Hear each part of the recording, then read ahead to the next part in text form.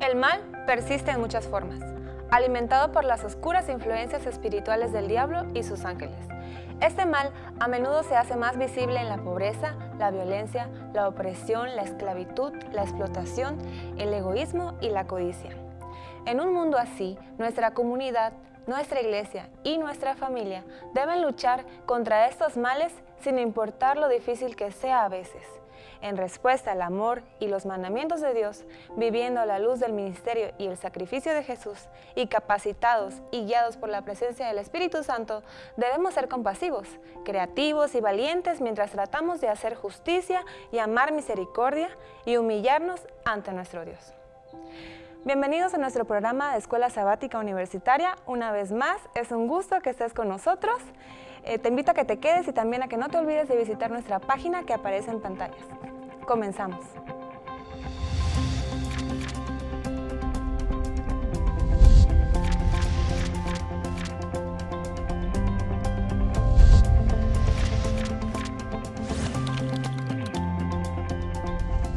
Hola amigos, ¿qué tal? ¿Cómo están? Es un gusto que estén acompañándonos de nuevo, igual aquí con mis compañeros, para un estudio más de la Biblia. Hemos visto en estudios anteriores cómo la Biblia muestra el gran interés de Dios hacia los pobres y los oprimidos y nuestra gran tarea. El estudio de hoy es amar en misericordia. Pero antes, Andrés, ¿puedes hacer una oración, por favor? Claro que sí, vamos a inclinar nuestro rostro para orar. Señor, queremos agradecerte el privilegio que nos das de abrir las Sagradas Escrituras. Queremos suplicarte también que sea el Espíritu Santo quien nos acompañe y nos dirija. Quédate con nosotros en este estudio y también con aquellos que nos acompañan. En el nombre de Jesús. Amén. Amén. Vamos a hablar acerca de las prioridades del reino. Una vez que comprendemos cuál es nuestra tarea en este mundo y cuál es nuestra mayor preocupación que debemos de tener hacia los demás, todas las cosas materiales pasan a segundo plano. Y en la Biblia nos los menciona en Mateo 6:25. Joshua, ¿nos los puedes leer, por sí, favor? claro. Dice, por tanto, por tanto os digo, no os afanéis por vuestra vida ¿Qué habéis de comer o qué habéis de beber? Ni por vuestro cuerpo, ¿qué habéis de vestir? ¿No es la vida más que el alimento y el cuerpo más que el vestido? Ok, ¿en qué versículo te quedaste? En el 25. Ok, y después dice, fíjense en las aves del cielo, no siembran ni cosechan ni almacenan en graneros, sin embargo, el Padre Celestial las alimenta. ¿No valen ustedes mucho más que ellas? ¿Quién de ustedes, por mucho que se preocupe, puede añadir una sola hora al curso de su vida? ¿Quieres leer el 28? Sí, dice, y por el vestido, ¿por qué os angustiáis? Considerad a los lirios del campo, cómo crecen. No trabajan ni hilan. Pero os digo que ni aun Salomón con toda su gloria se vistió como uno de ellos. ¿Cuál es el mensaje que nos muestra aquí? Qué bonito. De no afanarnos por las cosas que sí podemos lograr, pero que no sea nuestro máximo, porque Dios va a seguir proveyendo, provee para las cosas más sencillas de su creación y si ellos tienen ese beneficio, nosotros que somos sus hijos, que estamos hechos a su imagen, vamos a recibir aún más si realmente dependemos de Él. Sí, también quiso cambiar nuestra perspectiva sobre la, el valor humano porque en muchas ocasiones, este, no sé, dependiendo el estatus social o el estatus económico, a veces decimos que a veces eh, unas personas valen más que las otras, o sentimos eso, ¿no? Sin embargo, la Biblia nos, eh, nos deja muy en claro que el valor del ser humano es muy grande y, lo, hemos visto eh, a lo largo de todos los estudios, cómo Dios enfoca la igualdad que tenemos todos como seres humanos, ¿no? Creo que otra de las ideas que destaca el texto es que debiésemos preocuparnos por las cosas que Jesús nos dejó que nos, que nos preocupáramos, perdón, como ya lo hemos visto a lo largo de los diferentes estudios, por los necesitados, por los desamparados, por los oprimidos, y dejáramos de preocuparnos por este tipo de cosas que van más en relación al yo. Eh, y él dijo, eh, yo mismo me voy a ocupar de eso. Vean a, los pajaritos, ellos no, trabajan y, tienen lo suyo. Vean a los lirios del campo, son bellos, son hermosos y, tienen su vestido. Jesús eh, nos pide que nos preocupemos más por los demás y menos por nosotros mismos porque Él se está preocupando de nosotros y describe aspectos naturales porque si bien es cierto, pues esos aspectos fueron, son creación de Dios, ¿no? de lleno. Y cuando menciona las secciones donde nosotros nos preocupamos por las cosas que nosotros podemos obtener o que nosotros podemos hacer. Nos dice que debemos confiar más en la creación, o sea, nos debemos enfocar en la creación de Dios y debemos concentrarnos más en lo que Dios puede darnos a nosotros que lo que nosotros podemos conseguir. Qué idea tan importante, Joshua. Y también nos está pidiendo que respetemos a los que están arriba de nosotros, ¿no? Tanto en el... Sí, sí. Este, pues hasta un punto de, respetar y obedecer. Sí, fue, uno de los, fue uno de los principios que dejó, ¿no? En, por ejemplo, en el Sermón del Monte. Sí, Joshua tu punto es muy importante. Y algo que también Dios nos dice es que debemos de respetar a la gente que está por sobre nosotros, ¿verdad? Pero vamos a entenderlo hasta qué punto lo dice. Y para ello, Alison, ¿puedes leer Hechos 5.29, por favor? Ok, Hechos 5.29 dice, Pedro y los apóstoles respondieron, es preciso obedecer a Dios antes que a los hombres. Entonces, ¿hasta qué punto debemos de respetar y obedecer a los demás? Creo que también, eh, aunado a esto, Ellen White, una escritora cristiana, eh, menciona que nosotros debiésemos respetar los reglamentos, respetar las leyes eh, civiles hasta el momento en el que se contrapongan con las leyes divinas. Y creo que eso es a lo que se refiere también los apóstoles al, al, referir que debiésemos obedecer a Dios antes que a los hombres. Y de igual forma, eh, Jesús lo dijo, ¿no? Darle al César lo que es del César y darle a Dios lo que es de Dios. Hace una clara división entre ambos elementos y debiésemos ser prioritarios con las leyes civiles en esta tierra hasta el momento en el que se contrapongan con las leyes divinas. Sí, alguno, algún ejemplo de ello es, por ejemplo, si en un dado caso algún país pidiera, ¿no? Que, o aceptara la idea de la esclavitud, ¿no? Sería un concepto que nosotros bíblicamente no, no creemos o el hecho de no sé, poner por prioridad la ley que se imponga sobre el sábado, ¿no? Que es un día especial para adorar a Dios. E, ese tipo de cosas, ¿no? Hasta donde la ley proteja y, respete tus principios con Dios, yo creo que todo, todo marcha bien. De otra manera, pues...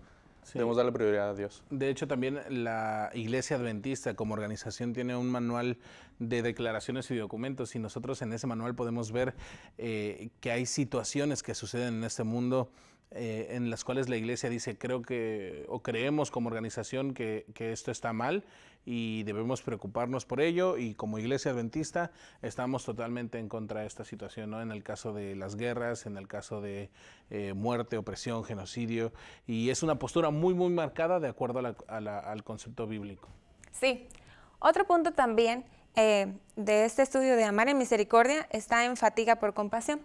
Watts Whitman escribió, no le pregunto a la persona herida cómo se siente. Yo mismo me convierto en la persona herida. Muchas veces tenemos que empatizar con la gente que sufre hoy en día. Pero ¿hasta qué punto debemos empatizar? ¿Hasta qué punto somos capaces de ayudar? Y para ello quiero compartirles tres formas que nosotros podemos empatizar con la gente. La primera es empatía cognitiva. Esta solamente es una comprensión empática que comprende el estado emocional sin que nos afecte a nosotros mismos en nuestro, como un contagio emocional. La segunda es una, em, una preocupación empática y la tercera también, esa es un contagio emocional. En el contagio emocional nosotros sufrimos porque eh, pues como que si no los, nos apegamos mucho al sufrimiento y si no estamos ciertamente capacitados para saber de qué manera orientarlos, entonces puede dañarnos a nosotros. Entonces nosotros debemos de tener en cuenta cuáles son nuestras cualidades, cuáles son nuestros dones y saber remitir. No puedo yo quedarme también con todo. Sí es cierto que Dios demanda que ayudemos a los demás, pero primero voy a ver cuál es tu necesidad, si está en mí ayudarte o ayudarte a que encuentres eh, la manera en que alguien más lo haga, ¿no? ¿Ustedes qué piensan de esto? Pues sí, bueno, es, lo que estabas diciendo yo creo que se puede entender como que no siempre estamos en la postura para ayudar a otros, si nosotros estamos débiles o de alguna forma tal vez lo que él está haciendo mal o lo que él está sufriendo se nos va a pegar y va a ser como una cadena en lugar de algo positivo, de un cambio de varias personas que se van a ir perdiendo. Pero para poder estar fuertes y todo tenemos que tener en claro las enseñanzas de Dios y tener en claro también su ejemplo de cómo él manteniendo una relación con Dios puede estar firme para ir a ayudar a otros. Sí, otro de los elementos también importantes es eh, destacar esa delgada línea, ¿no?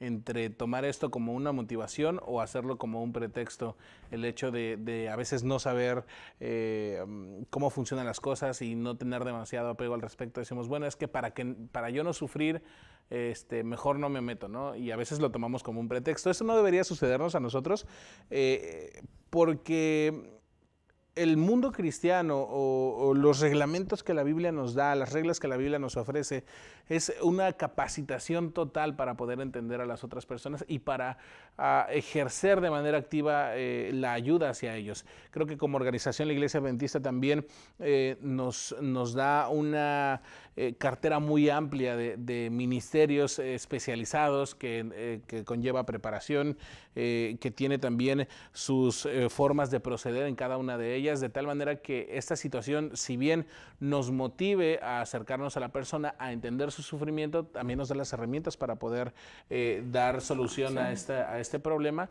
sin que llegue a, dañar nuestra, nuestra integridad. ¿no? Así es. Chicos, una pregunta más. Vamos a hablar acerca de generosidad. Para ustedes, ¿qué significa la palabra generosidad o de qué manera podemos? Yo creo que generosidad es dar hasta que te duela. Dar sin esperar recibir. Dar nada más porque quiero, no porque alguien me va a dar también si yo le estoy dando a alguien más. ¿Cómo dijiste esperar? Dar, hasta que duela. Hasta que te duela, pero sin que te duela. Pero sin que te duela. O sea, dar, un, o sea, dar hasta lo que puedas dar, pero seguir dando, ¿no? Sí, es lo que yo estaba pensando, por ejemplo, en ese caso de, de la generosidad, ¿no? Que hay personas que son están limitadas económicamente, pero son muy generosos. Y hay personas que tienen demasiado y no son tan generosos. Claro que hay personas que tienen muchos recursos, ¿verdad? Y sí comparten, pero en el caso de las personas que son humildes y dan, ¿no? Eh, explicándolo eso. Yo creo que concuerdo con esas dos ideas. Hay una historia de cuando era más, más joven. Habíamos ido a, una comunidad a, pues atender a esa comunidad. Y recuerdo que el hijo de uno de los pastores que iba ahí tendría, no sé, unos cuatro o cinco años y había un pequeño de su misma edad que no traía zapatos. Así que el pequeñito se le hizo fácil quitarse los zapatos y se los dio. Y cuando la mamá lo vio, pensó, nos contó después la mamá que pensó en, en regañarlo, ¿no? Este, pero luego dijo, no, pues esto es lo que nosotros esperamos como iglesia, ¿no? Esta es la razón por la cual nosotros estamos aquí. Y dice que tomó al hijo, a su hijo lo tomó de la mano y comenzaron a caminar para hacer las otras actividades y que su hijo comenzó, ay, ay, ay. Y le dijo, ¿qué pasa? Pues Duelen las piedras. Y dijo, pues es que para eso son los zapatos. Pues sí, pero estoy contento de haberlos dado. Y sigue caminando, ay, ay, ay. Entonces creo que esa es una forma muy clara de expresar qué es la generosidad, ¿no? Dar lo que tienes porque Dios tiene una recompensa para ti después. Sí, o dar lo mejor, ¿no? Sí. Porque muchas veces a veces se da y se, se, da todo, ¿no? Y uno queda endeudado, embaucado, ah. pero hay que dar sabiendo también administrar sus, sus, bienes, pero dando lo mejor también, no dando lo que te sobra, sino dando lo que a veces te cuesta dar. Sí. Entonces, dentro de, la generosidad, nosotros debemos de empezar a morir al yo, ¿no? Cada día más. Pues gracias, muchachos. Seguiremos hablando en el siguiente eh, bloque de cómo trabajar con la paz y de mientras vamos a escuchar al experto con la respuesta a la siguiente pregunta. ¿Cuáles son las formas en las que tu iglesia a nivel local podría actuar como pacificadora? En un mundo lleno de conflictos, guerras, en un mundo donde hay tanto clasismo y racismo y donde las jerarquías están bien definidas, urge que la iglesia ocupe un papel más pacificador. De hecho, en San Mateo capítulo 5, Jesucristo dice estas palabras, bienaventurados los pacificadores, porque ellos serán llamados hijos de Dios. Hemos, llamados, hemos sido llamados para hacer una influencia positiva al mundo, marcando una diferencia distinta a la que el mundo tiene con respecto a la gente. En un mundo donde hay tantas injusticias, en un mundo en donde el 1% del mundo es millonario y el resto de la población es medianamente pobre, en un mundo donde los migrantes sufren porque están buscando tierras para poder encontrar un bienestar económico y social con sus familias, Dios llama a sus hijos, a la iglesia, a, poner un, poquito de, un granito de arena y aliviar el dolor humano. La pacificación consiste pues en traer equilibrio, en romper prejuicios, en romper barreras. Y de esta manera nosotros cuando llevamos alimentos, cuando llevamos cariño, cuando llevamos un mensaje de salud, cuando llevamos un mensaje de esperanza, estamos tratando de restablecer la dignidad humana, una dignidad humana que se ha perdido. Bienaventurados los pacificadores implica establecer la paz, romper los desequilibrios económicos, unir las razas y unificar proyectos para que los antagonistas se unan y juntos trabajemos por el bien de la humanidad.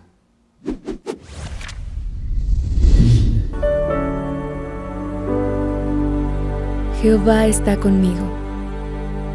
No temeré lo que me pueda hacer el hombre.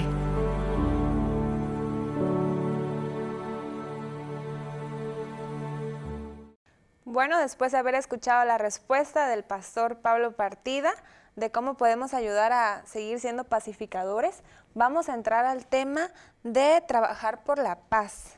En un mundo tan caído y de tanto sufrimiento y guerra, eh, Alison, ¿qué nos comparte la Biblia en Mateo 5.9? Dice, bienaventurados los pacificadores, porque ellos serán llamados hijos de Dios. Nos dice que vamos a ser mm, bendecidos en el cielo cuando, cuando ya todo esto se acabe por haber actuado con paz y por haber realmente expresado que somos hijos de Dios con los demás, con los que nos rodean, sin importar quiénes eran. Sí, sin duda alguna menciona que el carácter del reino de los cielos pues, es de personas pacificadoras, ¿no? O sea, ¿qué pasaría si ahorita eh, en, eh, en, el transcurso del día, ¿no? Nos encontramos con alguien que de repente no sé, nos choca el automóvil o nos, o nos golpea por accidente y uno pues lo responde así fácilmente, ¿no? ¿Qué pasaría? ¿Qué, qué reacción tendríamos nosotros? ¿Tendríamos una reacción como ciudadanos del reino, como pacificadores? O seríamos como Pedro, ¿no? Desenvainando la espada. no, yo creo que depende de nuestra conexión que tenemos ese día con Dios. Sí, entonces... Si nosotros tenemos ya el espíritu pacificador, creo que hasta la gente se iba a asombrar así como que, no, claro, ¿por qué me está tratando bien si le hice algo que no? Sí, es que en un mundo tan caótico en el que vivimos, actuar normal es ser diferente, ¿no? Sí, sí, tenemos como una realidad del reino de los cielos, pues obviamente también nosotros vamos a tratar de comportarnos a, esa altura, ¿no? Creo que también eh, el ser pacificador nos llama a ser conciliadores, ¿sí? mencionaba el, pastor Partida que debíamos de, buscar que el rico y el pobre pudieran convivir, que este, el negro y el blanco, por decir algo, pudieran convivir, etcétera, etcétera. O sea, las distinciones y los estigmas que se han colocado eh, debieran romperse y, poder convivir juntos. Me gusta mucho el, el, versículo que se encuentra en Isaías capítulo 52, versículo 7. Dice, cuán hermosos son sobre los montes los pies de aquel que trae alegres nuevas, del que anuncia la paz, del que trae nuevas de bien, del que publica salvación, del que dice a Sión, tu Dios reina.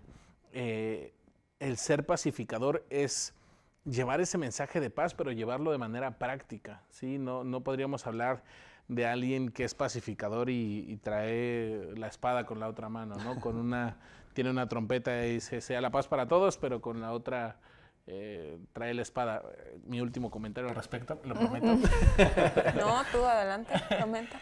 Recuerdo que eh, cuando estábamos analizando el pueblo romano, ellos eh, a través de su ejército tenían dos cosas, pax y lex, que era paz y ley, ¿sí? A través del ejército. Entonces suena un poquito difícil entender cómo un ejército puede dar paz.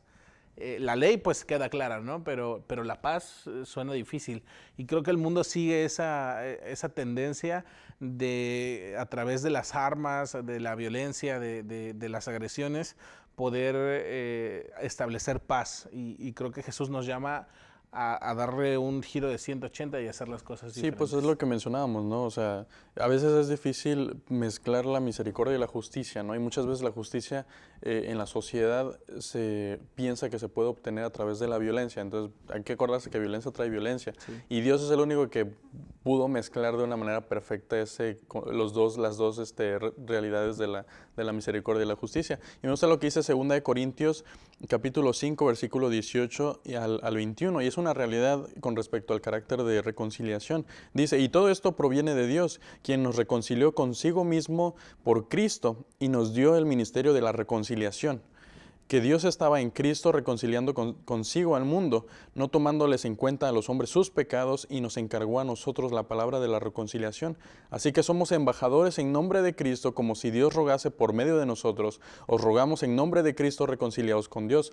Al que no conoció pecado por nosotros, lo hizo pecado, para que nosotros fuésemos hecho justicia de Dios en él. Entonces, nosotros habíamos estado estudiando acerca de la realidad del juicio y la esperanza que nosotros tenemos del juicio, ¿no? de la llegada de justicia para todos nosotros y los que esperan a Cristo. Sin embargo, Dios también forma parte en, todo este desarrollo del pecado y de la reestructuración y de la renovación, porque Él también es un Dios que se tiene que vindicar con su pueblo y con toda su creación, ¿no? Y tiene que, eh, por así decir, eh, encontrar esa reconciliación de su pueblo hacia Él, porque si bien es cierto, nosotros tenemos un Dios que no vemos, sin embargo, sabemos que es un Dios de justicia y misericordia y en algún momento vamos a tener la oportunidad de recibir respuestas y de recibir la justicia para todos los que confiaron en Él. Ok, entonces el mensaje que estamos tomando es que debemos de trabajar para, para la paz, pero también debemos de estar en paz con Dios, ¿no? Claro. Eh, en medio de la reconciliación que debemos de tomar sí, con Él. tener misericordia de todas las personas, sin embargo, hacerles recordar que eh, Dios al final de, cuentas va a realizar un juicio en donde se va a evaluar la relación que se tuvo con Dios y la, reacción que se tuvo en base a eso, o sea, las, las obras que tú realizaste con tu prójimo, ¿no? Entonces eh, va, va de acuerdo, ¿no? a la misericordia con las personas, pero recordarles también que va a haber justicia. ¿Ustedes qué opinan al respecto? Creo que hay una manera bien esencial de, de mezclar estos dos elementos y es a través del trabajo por los demás. Claro. Hay que recalcar esa, esa situación. El, el, evangelismo, más bien el evangelio, tiene que ser práctico. Eh, no podemos decir que somos pacificadores si no trabajamos en favor de los demás. No podemos decir que promovemos a un Dios de justicia si nosotros mismos no estamos siendo justos con los que son injustos. Yo lo veo de esta manera. Eh, hay gente que en su diario vivir ha olvidado muchas cosas.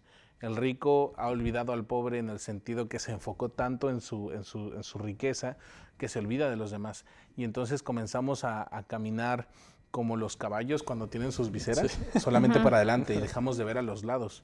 Entonces nosotros hemos sido llamados precisamente a eso, a, correr esos velos, a llamar la atención hacia aquellos que están, que están siendo oprimidos. ¿no? Creo que ese es eh, eh, el acto del pacificador, alzar la voz por aquellos que no pueden alzar la voz, hay quien ya se percató que algo está sucediendo mal, no solo con los ricos y pobres en cualquier ámbito, pero el pacificador tiene la obligación de levantar la voz por aquellos que no han podido hacerlo. Estás tocando un punto más, que es una voz para los que no tienen voz, ¿no? Y eso me recuerda a lo que ya habíamos estudiado antes en Isaías 58, 1 al 10, ¿lo recuerdan? Donde comentaba que ellos decían, bueno, es que si yo ya estoy ayunando, si yo ya estoy haciendo, Dios donde mío, hablaba ¿por qué acerca de, de, desatar a los oprimidos, o sea, de eliminar ese, esa opresión y acordarse de aquellas personas quienes están necesitadas. Y cuando hablamos de este tipo de personas, no estamos hablando de personas que precisamente están siendo oprimidos, sino también de aquellas personas quienes no conocen eh, los medios para solucionar sus problemas. ¿no? Yo me acuerdo eh, de una ocasión que eh, estoy visitando una iglesia y terminamos el programa y cuando salimos una hermana, yo estaba de visita en ese lugar, entonces una hermana me regaló este, un, un lonchecito ¿no? en una bolsita, era, era un sándwich, eran unas frutitas y era una botella de agua. Y yo salí de la iglesia y justo a la vuelta de la iglesia había una señora, una madre con su bebé y ella estaba pidiendo dinero. Entonces yo le, le pregunté, ¿usted sabe que hay una iglesia aquí que, y que cada semana realizan una comida este, pues para convivir entre ellos, si usted gusta ir? Entonces yo me acuerdo que abrí mi bolsa y le dije, es más, le voy a, ¿ya comió? Le dije, y me dijo, no, no he comido. Bueno, le voy a dar este, algo de comer. Y yo me acuerdo que metí la mano y me puse a, como al principio a medir, ¿no? ¿Cuál estaba más grande? Y por un momento dije, le voy a dar la fruta, pero luego dije, no, le voy a dar algo más, más fuerte para ella y pues algo para el, para el niño también. Entonces dije, nada más déjeme una fruta para que yo también pueda comer este, y yo le voy a dar todo lo demás. Y me acuerdo que una hermana me dijo, este, ¿por qué le da eh, toda la bolsa? Yo le dije, pues porque, o sea, yo ya comí en todo el día, yo no sé si ella comió en todo el día y yo no sé si ella sea de aquí, entonces yo no sé si ella conoce los medios para poder este, solventar su, su, su, situación, su, su necesidad. Entonces, eh, yo creo que alzar la voz por los demás también es guiarlos, ¿no? ayudarlos, porque a lo mejor ellos no conocen por dónde encaminarse para solucionar su problema y para no solo eso, sino para encontrar esperanza, porque sin duda alguna el, oprimido son aquellas personas quienes también, por ejemplo, ahorita que decía Andrés, los ricos han olvidado de los pobres y los pobres se han olvidado de la esperanza, entonces ellos por ahí deambulan, ¿no? sin, sin un rumbo, sin un propósito y es necesario encaminarlos en, ese, en esa vía. Alison, ¿tú de qué forma crees que nosotros podemos levantar la voz por los demás? Pues a menudo se nos, se nos recuerda que somos las manos y los pies de Dios y eso quiere decir con que hagamos por los demás. Pero a veces, como decía este Joshua, eh, hay personas que no tienen claro cómo salir adelante, cómo hablar cuando se les están haciendo injusticias. Y si nosotros tenemos un poco más de conocimientos, es nuestro deber ir y abogar por ellos, no en plan de empezar una guerra o algo, porque recordemos que somos pacificadores, pero sí para ayudarlos a que en alguna situación en la que estén puedan encontrar un cierto tipo de justicia. Los profetas hicieron eso en el tiempo de antes con algunos grupos o pueblos que estaban siendo marginados o algo y realmente no, no es que ellos dejaron de sufrir o algo, porque a veces nosotros no queremos hacer por otros porque no queremos meternos en problemas, pero ese es nuestro llamado de que tenemos que actuar no nada más en obra, sino también en palabra por aquellos que no tienen o no saben cómo hacerlo. Alguna vez escuché a alguien que dijo, es que yo no me meto en esos líos porque no quiero... Eh, restar tiempo de atención a los míos para atender a los demás. Es muy cansado. Como la empatía me, cansa, ¿no? Me, me, desgasta. Y entonces en, Isaías eh, dice lo siguiente.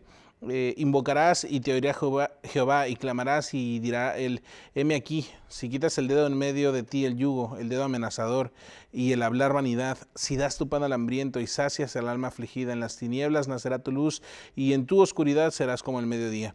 Jehová te pastoreará siempre, en la sequía saciará tu alma y dará vigor a tus huesos. Serás como un huerto de riego, como un manantial de aguas cuyas aguas nunca se agotarán. Dios promete que cuando tú te preocupas sinceramente por los demás, Él va a proveer esfuerzo, tiempo, recursos, Él va a dar todos los medios para sufragar para otros y también para ti. Y punto principal, el amor. ¿A cuántos de nosotros nos gusta amar? ¿Nos gusta o no nos gusta más? Yo creo que todos queremos que nos quieran, aunque seamos bien amargados o algo así, o nos separemos de los demás. Todos necesitamos cierto tipo de afección y de cuidados. Y nos gusta amar a alguien, ¿no? Por ejemplo, a mí me gusta amar a mi esposo, me gusta amar a mi, a mi mamá y además, ¿verdad? Pues muchas gracias chicos, un tema muy interesante. Eh, espero que allá en sus casas puedan seguirnos acompañando en el siguiente tema de este estudio.